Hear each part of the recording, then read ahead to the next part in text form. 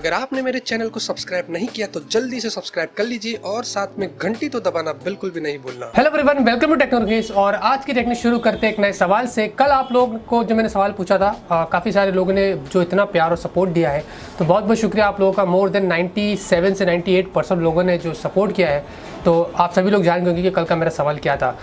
आज का सवाल ये है, हम सभी लोगों को पता है कि जियो का फ़ोन बहुत ही करीब आ रहा है और ट्वेंटी फोर्थ अगस्त से प्री बुकिंग स्टार्ट होगी और सितंबर से मिलना जो वो शुरू हो जाएगा। मुझे ये पूछना मैं काफ़ी क्यूरियस हूँ कि क्या आप लोगों ने जियो फ़ोन के लिए रजिस्टर्ड किया है?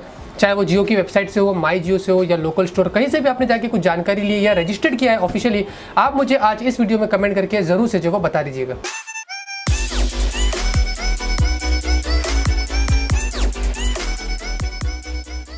पहली खबर की बात करते और आप लोग को गर्व के साथ में एक ऐसी खबर देते हैं जहाँ पे हम सभी लोगों को पता है कि माइक्रोमैक्स और इंटेक्स इंडियन कंपनी लेकिन हम ज़्यादा एक्सपेक्टेशन रखते हैं अपार्ट फ्रॉम चाइनीज़ कंपनी के, लेकिन ये कंपनी कुछ ऐसे फीचर्स नहीं देती है।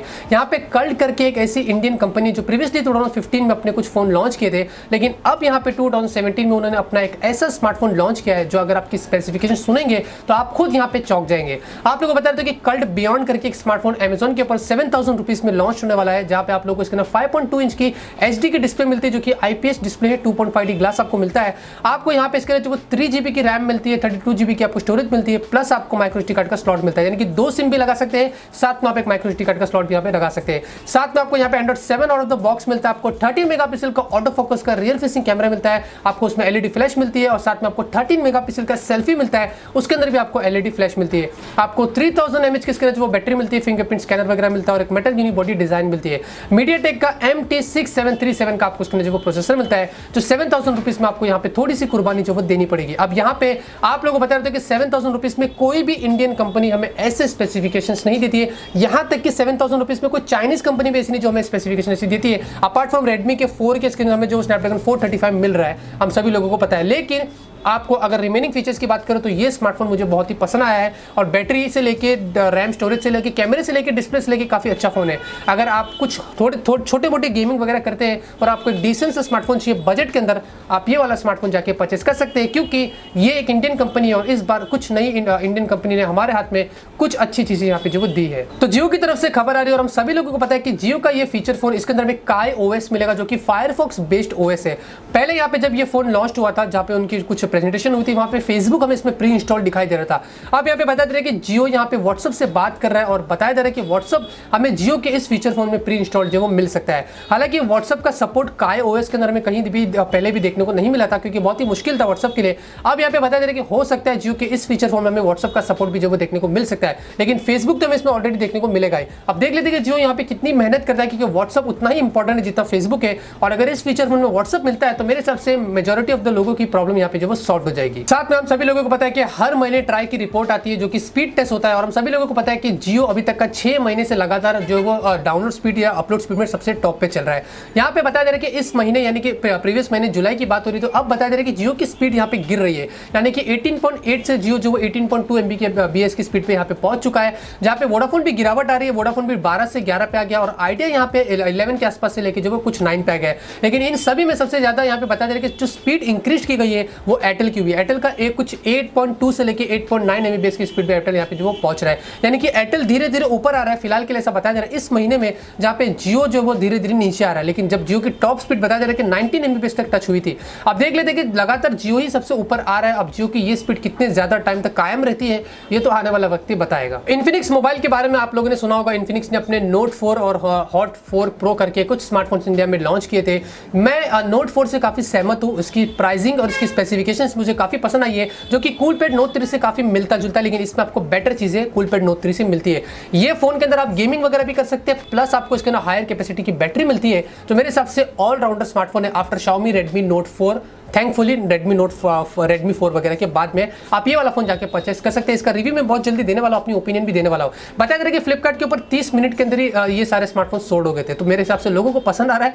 लोग ये फ़ोन परचेस करने के लिए रेडी है। मैं अपना एक रिव्यू देने वाला हूँ। मेरे हिसाब से अगर आप अब ये फ़ोन परचेस करना चाहते हो तो मेरे तरफ़ से थम्सअप है। आप जाके ये वाला फ़ोन जो परचेस कर सकते हैं। कूलपेड की तरफ़ से खबर आ रही है और बताया जा रहा है कि कूलपेड ने अपना नोट फाइव लाइट का एक नया वेरियंट जो लॉन्च किया Coolpad Note five Lite C के नाम से, जो टोटली ऑफलाइन मार्केट के ऊपर जो फोकस करेगा। सेवन 777 यानी कि 7777 में उन्होंने इंडिया में लॉन्च किया है, जहाँ पे इस फ़ोन के अंदर आपको 5 इंच की एच की डिस्प्ले मिलती है। स्नैपड्रैगन का 210 का प्रोसेसर मिलता है टू की रैम सिक्सटीन की स्टोरेज एट का रियर फाइव का सेल्फी और टू थाउज़ेंड की आपको बैटरी मिलती है। अब मैं आपको यही कहता हूँ, देखिए इसमें कोई भी कॉम्बिनेशन ऐसा नहीं पे आपको कुछ अच्छा मिले, यानी कि थर्टीन का रियर थर्टीन का सेल्फी या फाइव थाउज़ेंड की आपको बैटरी मिल रही है। कुछ ऐसी चीज़ जो नहीं है, जो अच्छी है, जो हम हम इस फ़ोन को परचेस करें। यहाँ पे सब कुछ आपको डाउन मिल रहा है, कुछ अच्छा नहीं मिल रहा है और प्राइसिंग आप देखेंगे तो सेवन सेवन सेवन सेवन तो कूल पेड मुझे पता नहीं क्यों ऐसा कर रही है। एक जमाने में कूल पेड के फ़ोन इतने अच्छे चलते थे। अभी तक का कूल पेड का कोई फ़ोन सबसे अच्छा तो वो कूल पेड नोट थ्री और नोट थ्री लाइट है, जो आज भी मैं यूज़ कर रहा हूँ आज भी अच्छा चल रहा है। गेमिंग वगैरह भी सब अच्छी होती है, लेकिन कूल पेड को मुझे पता नहीं क्या हो गया है। अब बीस अगस्त को बताया जा कूल पेड अपना एक फ्लैगशिप स्मार्टफ़ोन भी लॉन्च कर रहा है इंडिया के अंदर।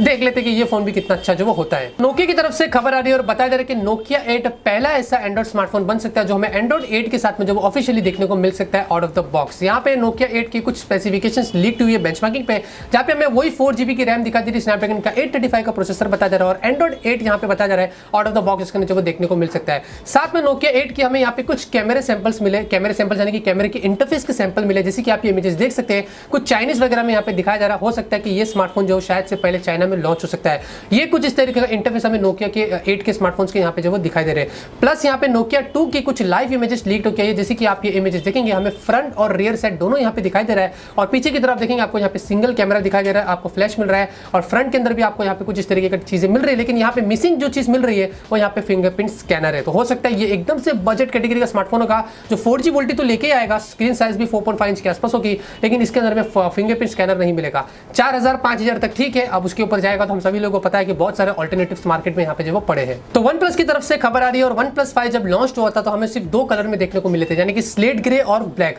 अब यहाँ पे ऑगस्ट सेवंथ को बताया जा रहा है कि वन प्लस यहाँ पे अपना एक नया वेरिएंट यानी कि मिंट गोल्ड कलर का जो वो वेरिएंट लॉन्च करेगा, जो अमेजोन के ऊपर सात अगस्त से आपको जो वो मिलेगा। अगर आपको वन प्लस फाइव परचेस करना है, सबसे पहले तो वो बड़ी बात है, अगर आपको पसंद है परचेस करना वेट कर रहे थे, अब यहाँ पे आपको स्लेट ग्रे और ब्लैक के अलावा भी आपको मिंट गोल्ड मिलेगा, जो अगस्त सेवन को आप एक्सक्लूसिवली जाके अमेजोन से जो वो परचेस कर सकते हैं। वीवो की तरफ़ से खबर आ रही है और बताया जा रहा है कि वीवो का एक अननोन स्मार्टफ़ोन यहाँ पे बेंचमार्किंग पे लीक तो क्या है, जहाँ पे हमें स्नैपड्रैगन का 660 का प्रोसेसर मिल रहा है और फोर जीबी की RAM Android 7.1.1 out of the box मिल रहा है।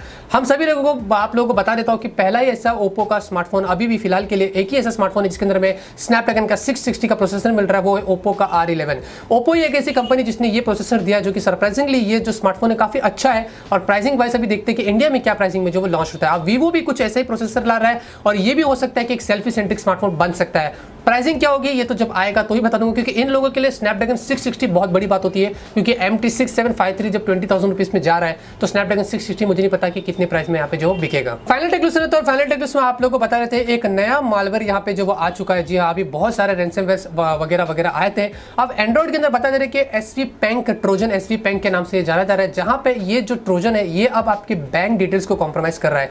अगर आपके मोबाइल के अंदर बैंकिंग के एप्लीकेशन से, अगर आपके मोबाइल में ये वायरस आ जाता है तो हो सकता है कि आपकी सारी बैंकिंग के डिटेल्स वगैरह इसके पास, यानी कि पासवर्ड आईडी वगैरह इसको जो वो मिल जाए। तेईस कंट्री फ़िलहाल के लिए इससे इफेक्टेड हो चुकी है और इंडिया का यहाँ पे फ़िलहाल के लिए ज़्यादा कुछ डिटेल्स अभी सामने नहीं आई। ज़्यादातर यूरोप और रशिया वगैरह में ये इफ़ेक्ट हुआ है। ये क्या करता है कि फ्लैश प्लेयर के ज़रिए आपके मोबाइल में आ जाता है ऑटोमेटिकली एप्लीकेशन इंस्टॉल हो जाता है और फिर आप इसको अनइंस्टॉल भी जो नहीं कर सकते। उसके बाद ये खुद ब खुद आप क्या करेगा, जब भी आप नेक्स्ट टाइम अपने बैंकिंग की एप्लीकेशन ओपन करते हैं, ये उसका स्क्रीन ले लेगा उसके अंदर से ही और आपकी बैंकिंग डिटेल यहाँ पे कॉम्प्रोमाइज हो जाती है। तो देख लेते हैं कि इसके तोड़ क्या है। ये तो आने वाला वक्त जब क्लियर होगा तो मैं आप लोगों को ज़रूर से जगह बता दूँगा। आज की टेक न्यूज़ यहीं पे खत्म होती है। उम्मीद करता आपको आज की टेक्न्यूज पसंद आएगी। अगर आपको पसंद आती तो ज़रूर से इस वीडियो को लाइक करिए। मैं से आप लोग के लिए डेली टेक्न्यूज आता रहूँगा। आप लोग को ऐसे ही अपडेट करता रहूँगा। मिलता है आपसे अगले वीडियो में एक नए वीडियो के साथ। Till have a great day and always keep smiling